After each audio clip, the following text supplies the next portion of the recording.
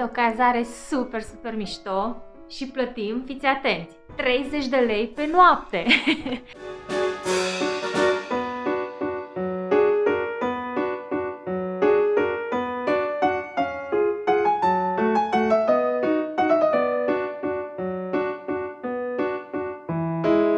Avem și uscător de păr.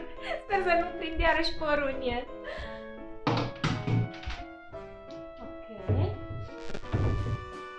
Și un pat pentru oaspeți. E foarte cald în cameră. Avem aer condiționat, ne-a dat drumul la căldură. Proprietarii au fost foarte de treabă. Televizor. Și practic este un mini garsonieră pentru că avem și kitchenetă. Avem o chiuvetă în schimb. Da. Oh, veselă. Frigider, e băgat în frigider. Toaster, apă.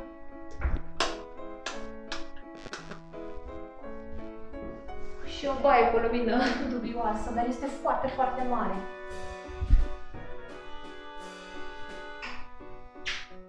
Și mirosea curat, chiar este curat.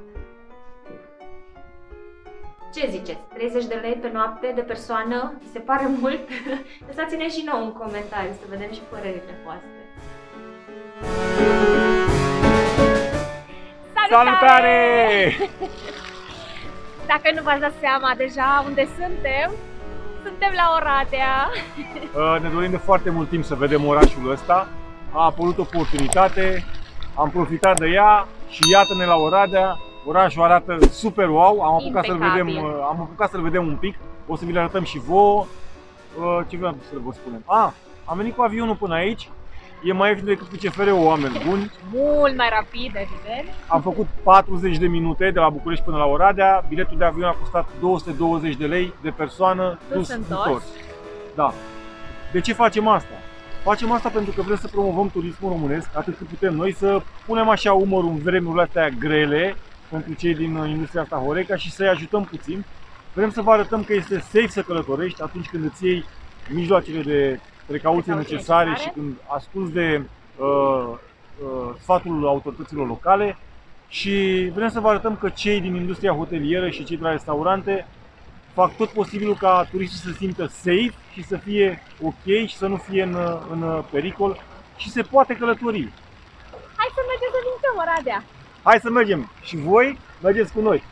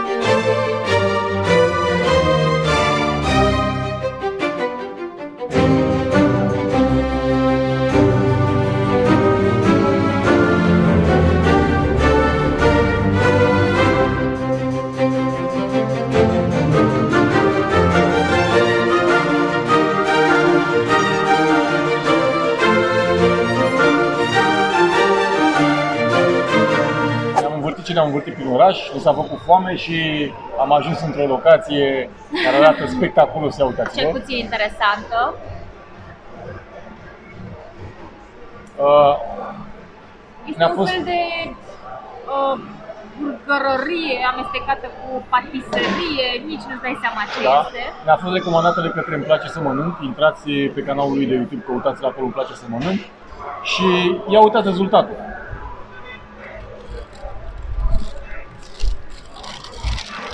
Acesta este burgerul.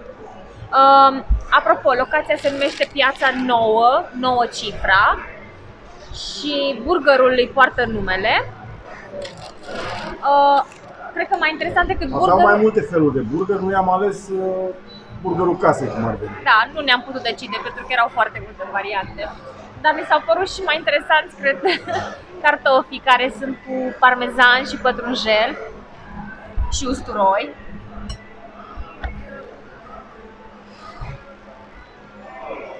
Am să gustul să văd.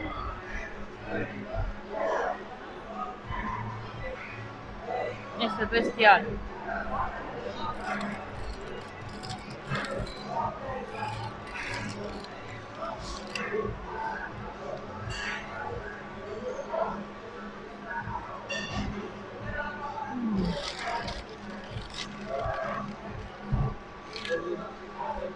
Este delicios. Clar vă recomandăm. Cât am plătit? Uh, Um, cam 20 de lei, 21 de lei a fost burgerul. Cartofii în funcție de cum vrei să arate costă între 7 și 10 lei. Și mai avem niște sosuri, uh, 5 lei. și o bere dubioasă.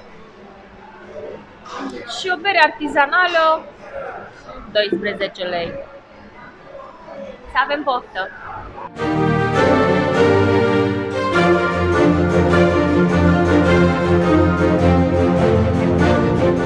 După masa copioasă de la uh, pe care am luat acolo cu burgeria aia super meseriaș, am ieșit puțin la plimbare să vă arătăm orașul și suntem la Biserica cu Lună, respectiv Catedrala Dormirii Maicii Domnului. Ce este special pentru această catedrală este că are un mecanism acolo sus, uh, unic în Europa, care reprezintă fazele lunii. Ia uitați-vă!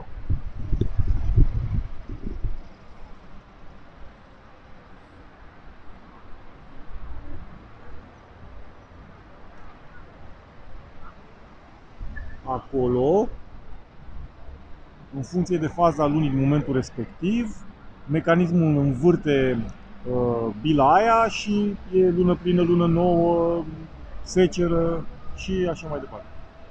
Aici suntem în uh, Piața Unirii, care este de fapt centrul istoric al orașului Oradea și are cea mai mare concentrație de clădiri istorice de aici din oraș, clădiri care au fost uh, reabilitate și sunt în continuare pentru că multe din ele uh, sunt în procesul de reabilitare uh, cu ajutorul fondurilor europene. Practic, uh, primăria orașului a încercat să uh, profite în sensul pozitiv, să beneficieze cât mai mult de fonduri europene pentru a face ca orașul să arate atât de Da, impecabil. citeam undeva că uh, primăria din Oradea este primăria care a beneficiat cele mai multe fonduri europene, a accesat cele mai multe fonduri europene, iar asta este un lucru bun și se vede, așa cum am arătat până acum și o să vă mai arătăm, clădirile astea arată într-un fel anume.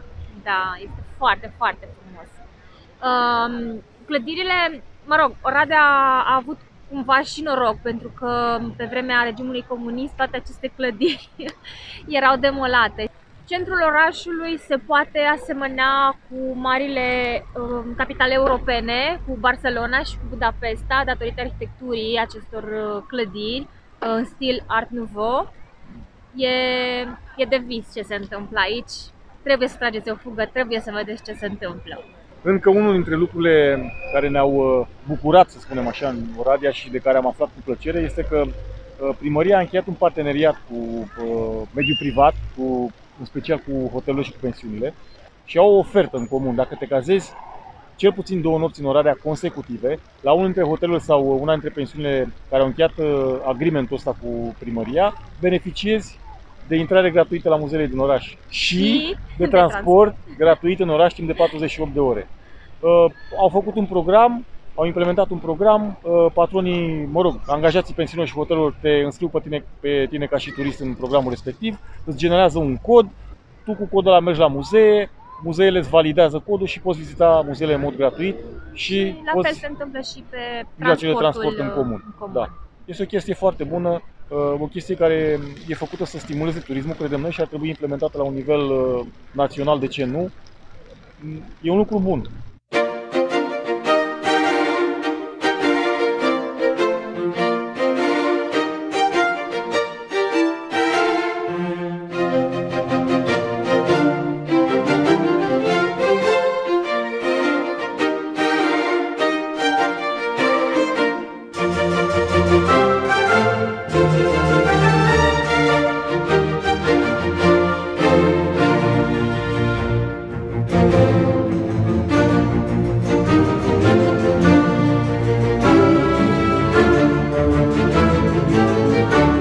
Ziua vi se părea spectaculoasă Oradea, haideți să o vedeți noaptea.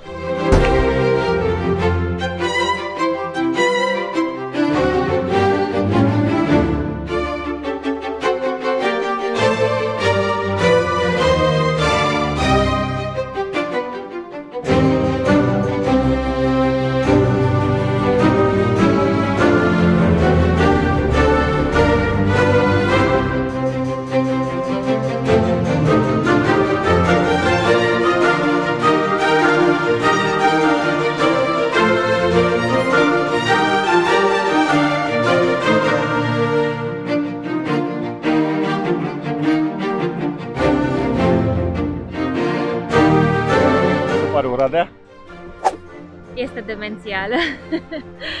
Absolut, ne place îngrozitor de mult.